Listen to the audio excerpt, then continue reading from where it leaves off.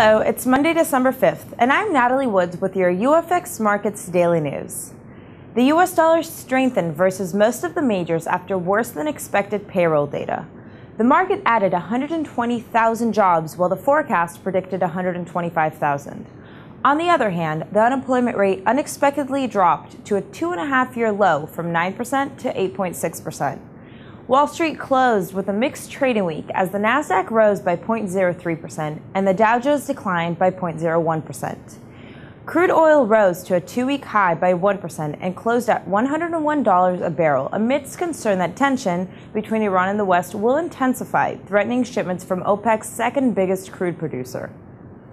Gold rose by 0.10%, closing at $1,746 an ounce. The euro fell versus the dollar after the U.S. unemployment rates unexpectedly dropped to a two and a half year low. However, the pair erased its loss on speculation that the Italian cabinet may pass new budget cuts and tax increases valued at 24 billion euros to shore up the country's finances. Most of the attention will be focused at the, the European summit this week, where the region's leaders will try to resolve their sovereign debt crisis. Trading above the support level of 1.3380 will keep the momentum of the pair positive, but if the pair breaks below the support level, it may reach the 1.3280 level again. Overall, the euro dollar traded with a low of 1.3360 and with a high of 1.3549. The euro dollar last traded at 1.3420. The British pound fell versus the dollar after the release of the US economic data last Friday. The trend for the pair will remain bearish if the pair maintains its resistance level of 1.5620. However, if the pair breaks that resistance, it may reach the 1.5720 level again.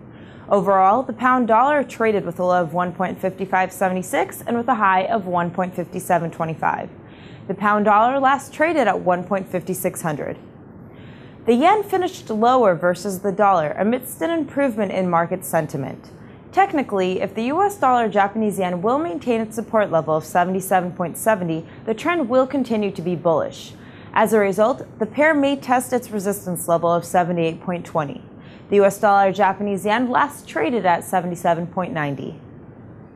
The Canadian dollar declined versus the US dollar on Friday due to a worse than expected unemployment rate, which rose to 7.40% versus the previous 7.30%.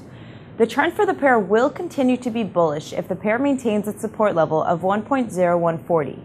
The US dollar CAD last traded at 1.0170.